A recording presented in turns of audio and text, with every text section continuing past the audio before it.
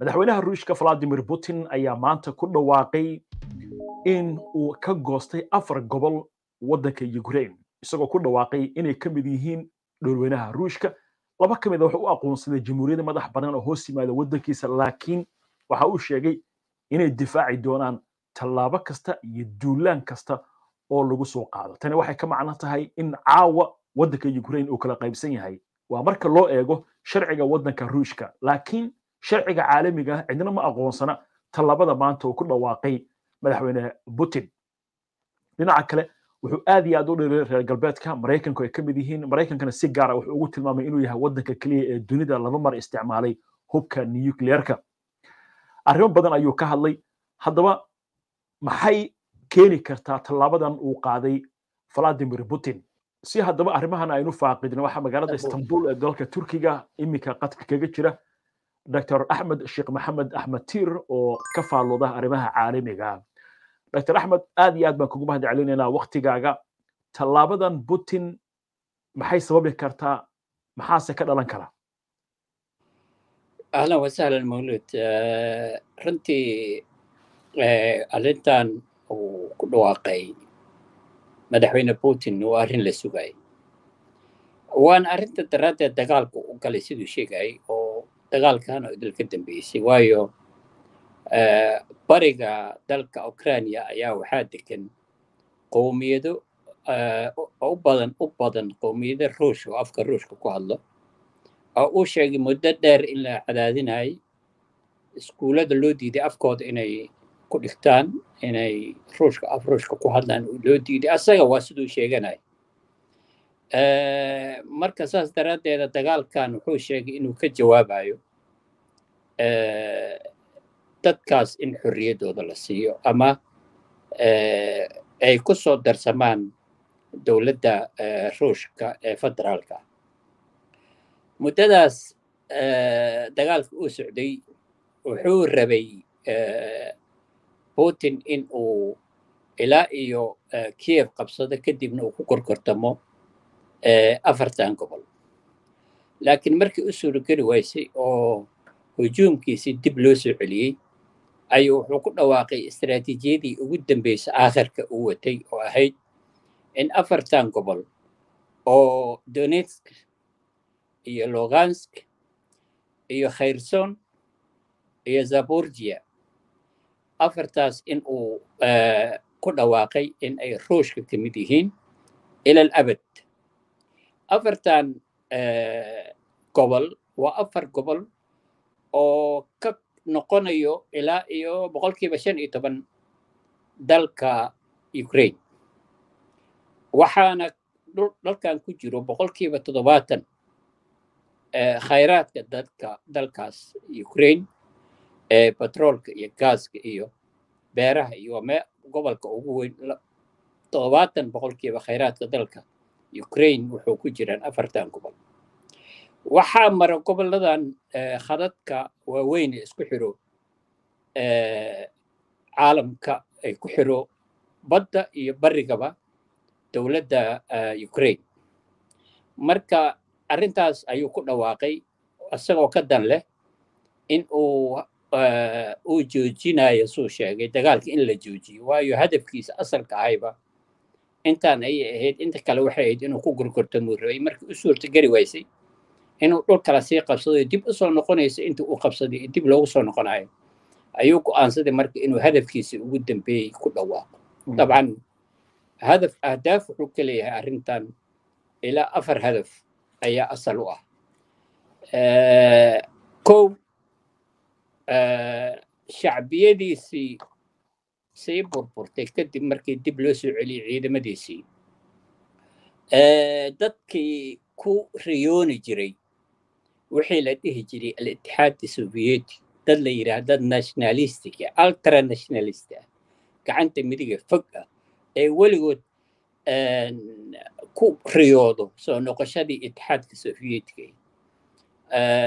ayuu horta sumcad ka helaa midda koobaad oo waxay xoojinaysaa mowqifkiisa arrinta labaad waxa waaye wuxuu u ekaan doonaa nin halyey ah oo soo celiyey ruushka iyo sharaftooda iyo ruushkii caddaay wixii dhihi jiray oo arla ka maqnayd oo afartan gobol oo ruush inay ka maqan yihiin weligiis uu sheegto nin u soo celiya ayuu noqonaa.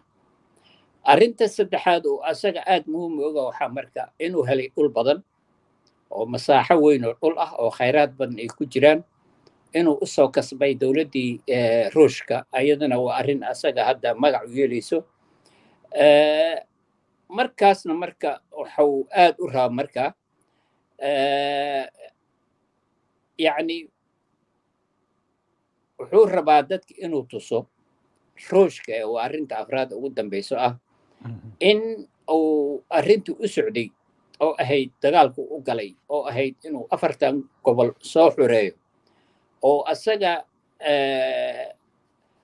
jabkiisii uu ku kabo oo u arko marka nin guulaystay u ekaada beddelkii nin jabay waayo baryahan dambe dhowrkii bilowda la soo dhaafay ciidama ruushka hadda ii jabaayeen. Marka intaasoo ahdaafayo asaga ka leeyahay dhulkuu qabsadayna waa dhulkaa oo aad khayraadkaas badan u yaallo laakiin su'aasha taalla waxaa waaye maxaa u suurtageli doona waa gartay. Waa su'aal meesha ku jirta aad iyo aad. Waxaa muhiima inay isweydiino ukraine iminka way ka soo horjeesatay madaxweyne biden oo hadlay isaga qudhiisa waa ka soo horjeestay madaxweynaha ruushka. Dalalka reer galbeedkood arrintan way ka soo horjeedaan. Isna wuxuu taagan yahay haddii laysku dayo in lagu qabsado afartan gobol inuu dagaal ka xigo xitaa uu isticmaalo wax kasta oo awooddiisa hubka nuclearka uu ku jiro. Reer galbeedka maanta waxaan ognahay marka inay ka taagan tahay dagaalka geli mayno. Marka micnaheeda marka waxay noqonaysaa putin afartaas gobol inuu la go'ay oo loo geyn doono. Ahdaafta laba nooc waaye ahdaaf dhow hadda. Objectives hadda dhow ah macnaha hadda waa qaatay wuxuu sameeyey afti ayuu sameeyey oo beenbeen ah sida la wada ogyaho idin kadib wuxuu ku dhawaaqay inay dadkaas ay doorteen inay ruushka ku darsamaan. Marka waktigan asaga eh boqolkiiba inkasta ay afarta gobol una wadan haysanin dhammaantooda oo doniska masalan boqolkiiba toddobaatan ayuu haystaa boqolkiiba soddon ukraine ayaa haysato dibaa looga qabsaday. Loganska lafteeda boqolkiiba siddeetan ayuu haystaa labaatan boqolkiiba dhulkeeda waxaa haysto ciidamada ukraine inkasta uu wada haysan haddana hadda inta uu haysto waxaa khilaaf laga doodahayaa ma inta uu haysto bas uu ku daray ruushka. Ama xataa intaas ukrainka ay qabsadeen uu ku daray. Kama uu jawaabin maanta su'aashaas wasiirka difaacu la weydiiyey madaxweynaha ka jawaabi doon uu yidhi maanta hadalkiisa kuma ayin jirin. Marka hadda waqtigan asaga wuu qabsaday dhulkii laakiin waxaa dhexta waxaa hortaalla afar shay oo aad u adag kow reer galbeedka dagaalkan toos uma geli doono. Laakiin waxaa dhaqsidiiba la ballan qaaday in ukraine aad loo hubayn doono oo iyada dagaalka ay geli doonto. Laba waxaa la bilaabay dhaqsadiiba cunaqabatayn oo hadda isodaga yurub waxay saareen cunaqabatayn madaxda afarta gobolba oo maanta la taagnayd putin cunaqabatayn la saaray isagana cunaqabatayn badan lisi doonaa marka aad uu sii daciifi doonaa ruushka. Arrinta saddexaad oo kale oo ayadana muhiimka oo ayadana dhici doonto waxaa waaye dowlad adduunka ictiraafi doonta ma jirto. Afartan gobol inay ka mid noqotay ruushka inay ka mid noqotay. Waxaa marka isaga keliya ictiraafsan waxaa ictiraafi doonto iiraan iyo suuriya intaas ka badan ma ictiraafi doonaan. Iiraan iyo suuriya oo ayada gacanta uu ku haayo suuriya gacanta ku haayo iyo iiraan ayaa ictiraafi doona dowlad kale oo hadda ku ku dhiiran karta mala maraykanka ay ka wada baqayaan iyo reer galbeedka. Muxuu isticmaali karaa haddii marka ay ukraine horey u socoto? Dabcan wuxuu isticmaali doonaa wax wuxuu isticmaali doonaa aakhirka haddii uu ku xabsiin doonaa reer galbeedka nuclearka oo ahayn midka oo strategiga ah laakiin tactical nuclear wax la yidhaahdo oo magaalo iyo ciidamo meel joogo lagu baabi'in karo inkastoo hadda caalamka markii aad loo darsay nuclearka oo tactical weaponka oo nuclearka ah oo midkiisa ugu yar uu la mid yahay kii hiroshima lagu dhuftay oo uuna jirin hadda wax tactical la yidhaaho khatar keeni kara magaalooyin idil baabi'in karo marka haddana ruushka wuu isticmaali doonaa haddii khatar ay gasho meelahaas hadda uu ku darsaday dalkiisa laakiin waxaan u malaynaa inay dhici doonto ukrainiyiinta inay aayar u socon doonaan ay horta aad u daciifi doonaan ruushka xagga dhaqaalaha iyagana ay hadda ay weerarada ay ku wadi doonaan gudaha kadibna wixii ka soo baxo maybe sanad ama laba sano kadib inay noqon doonto in la wada hadlo ruushka uu aakhirka sidii hesiiskii u gaari lahay uu ka hadlo. Waa gartay. Dr axmed isla maanta madaxweyne seleniski wuxuu ka dalbaday waddamada nato in si degdega xubin lagu siiyo waddanka ukraine. Waxaa sidoo kala hadlay yan stomberg oo ah ninka madaxda ku ah ama xogeyaha guuda nato. Wuxuu leeyahay waa in soddonka wadan ee nato ku jira ay si degdega arrintan u sameeyaan. Marka haddii ay noqoto inay ku biirtay ukraine nato putinna taas oo ka soo horjeeday xiisadda maxay ku sii kordhin doontaa micnaheeduma waxay ka dhigan tahay in nato ay difaaci doonto? Wadamadan kale waxaan ula jeedaa waddanka ukraine intiisa kale marka laga tago afartan gobol. Mise waxay markaasi wada noqon doontaa inay wada difaacaan inkastoo hadda gacanta lagu hayo afartan gobol oo ruushka u haysto ruushka horta intaan ma soo dhaafi kara. Hadda inuu gadaal u noqdo mogii horey ma soo aadi karo. Saddex arrimood uu sameeyey buu ku fashilmay.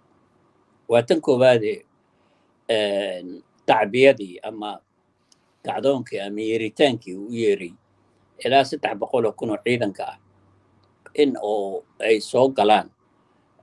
Way u suurtageli waysay inkastoo ilaa milyan uu rabay. Markuu ka cabsooday mooska iyo meelihii dowladihii caasimadihii waaweynaay wuxuu ka soo qoray dad meelaha yaroo tuulooyinka ah. Dadkii tuulooyinka joogayna waa ku kaceen marka arrintii uu u malaynayay inay awood u noqon doonto. Asaga ayay dib ceeb ugu noqoto dad waa la waayey askar.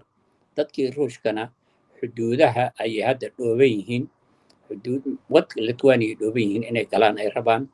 Finland way bixirtayba hadda xuduudeeda meel kasta oo waddan kasta oo xuduud hadda ruushla leh waxaa taagan kumaan kun gawaari ah oo inay baxsadaan rabo.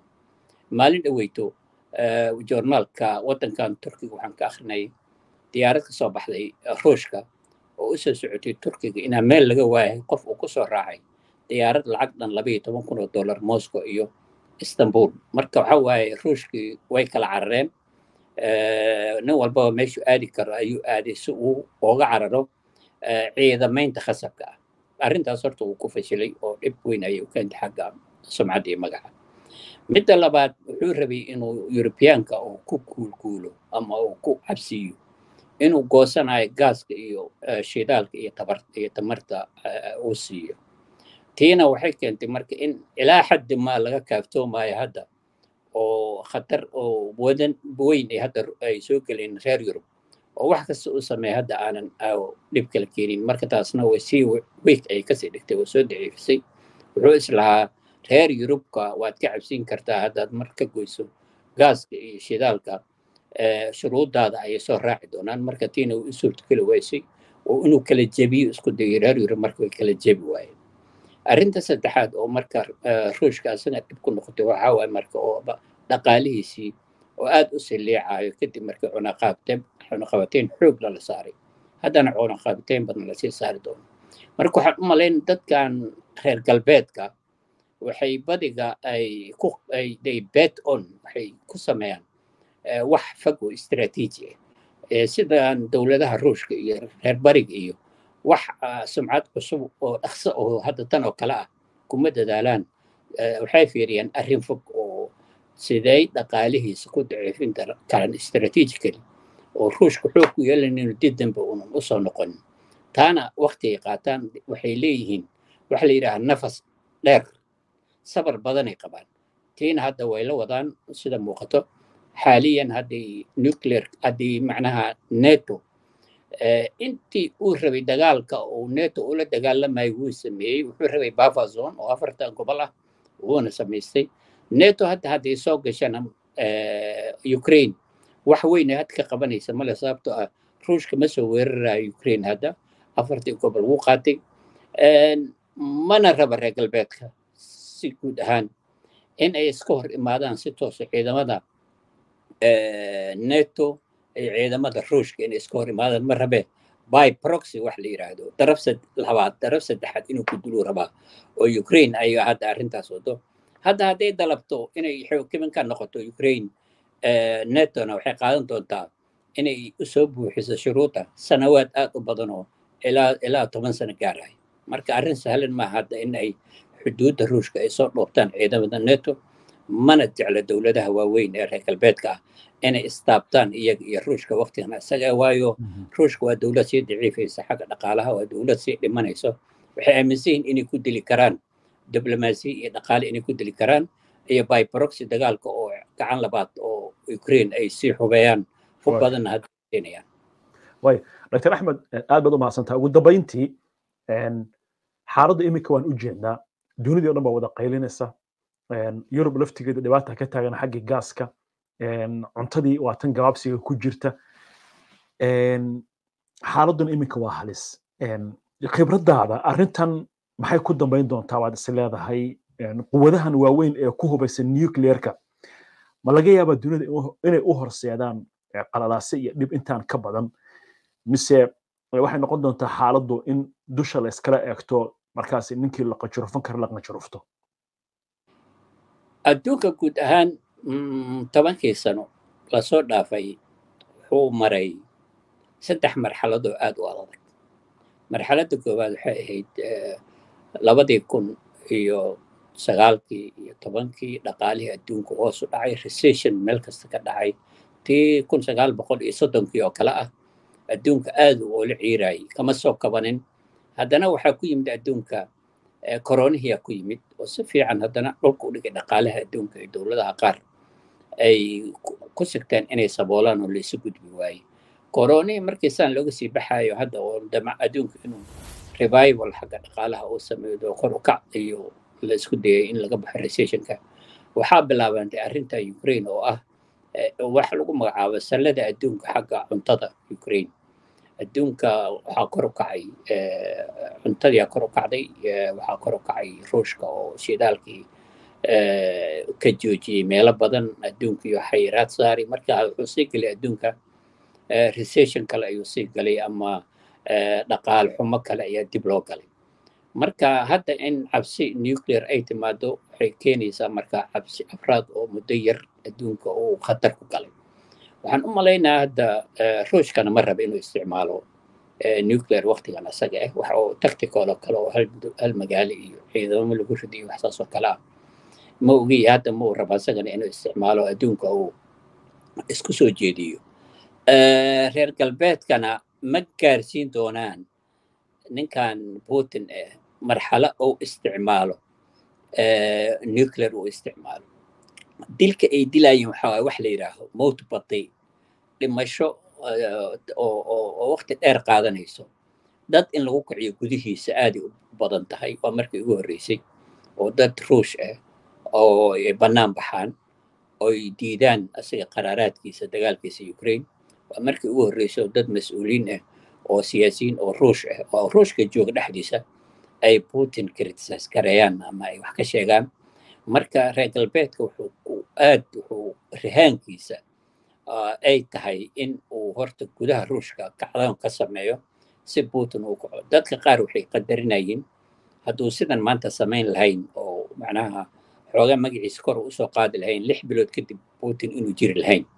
Laakiin maca daalika tan kama bixinayso dhaqaalaha way sii daciifaa dadka dowladda way sii daciifi dadka xorriyaad ayay sii helaayeen banaanbaxyo iyo hadalka inay kor u hadlaan ayaa samaysme reer galbeedka waxa uu aad u rajaynayo oo awood badan saarayo waa gudaha ruushka isbeddel inuu ka yimaado.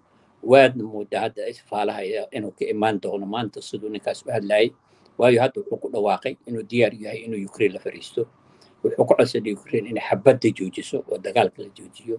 Wuxuu diyaar u yahay wadahadal hadda in la sameeyo marka xagna meelaan ku qabsaday oon ku soo daray dalkii ayuu yidhi xagna inuu weak yahay uu daciif yahay ayuu muujiyo ah inuu dagaalka sii wadi karin oo ukraine ku codsanayo inuu wada fariisto. Marka putin xaaladiisa ma sahlano ninkaas oo aad nin xoog badan adduunka iska dhigaya hadda waxaad moodaa inay arrinta ku adag tahay. Waa hagaag dr axmed sheekh maxamed axmed tiir oo qadka magaalada istanbul inagu warramayay ayuu kaasi ahaa. Dr axmed aad iyo aad baan kugu mahad celinana waktigaaga waad mahadsantahay. Aad mahadsantahay ustaad mawluud. Shukran lak. Shukran laka adiga iyo telefisyoonkaadaba waxaa idiin rajaynaa guul insha allahu iyo bashbashii barwaaqo. Aad iyo aad. Waad ku mahadsantahay waktigaaga ustaad. Aad baad u mahadsantahay. Asalaamu calaykum